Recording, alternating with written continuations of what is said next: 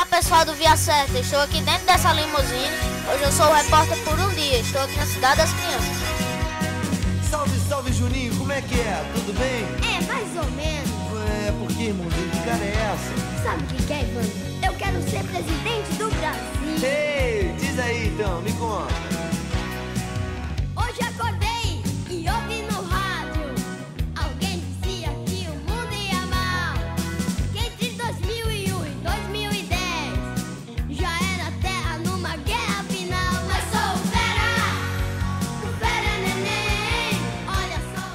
prazer proporcionar o sorriso da criança ao ver uma bela limusine como essa? Ah, o prazer para mim é muito grande, né?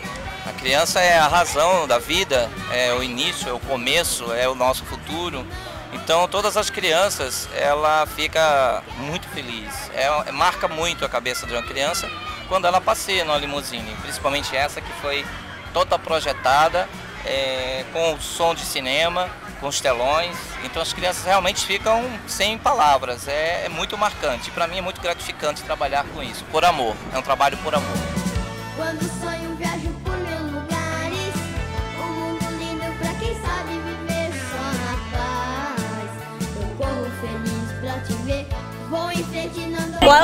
você quer fazer para os candidatos a presidente e governador do estado?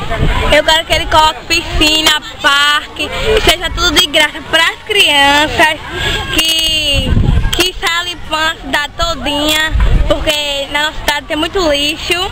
Eu queria fazer seguinte, a seguinte, a seguinte pedida, porque assim o nosso mundo não está muito bem, porque aqui a gente vê um parque para se divertir, mas se a gente olhar ali na lagoa, tá cheio de lixo, tá tudo poluído. Aqui, olhar ao redor, tá cheio de lixo. Aí eu queria que eles mandassem pessoas para limpar, porque não dá pra gente brincar num lugar assim poluído, né? O preço dos lanches é muito caro, o preço dos lanches. A gente não tem todo esse dinheiro para pagar. Aí fica difícil, né, pra gente? É, deixa eu ver. Botar piscina, é, tirar os ladrões, deixa eu ver. Que, que tudo seja como era.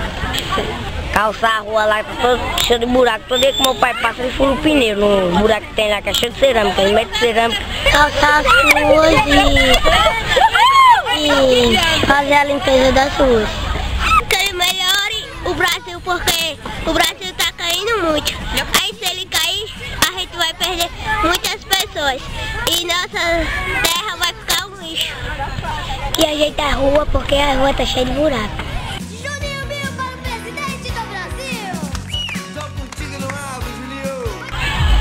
Qual foi o número de crianças que teve aqui no, na Cidade da Criança na re, reinauguração?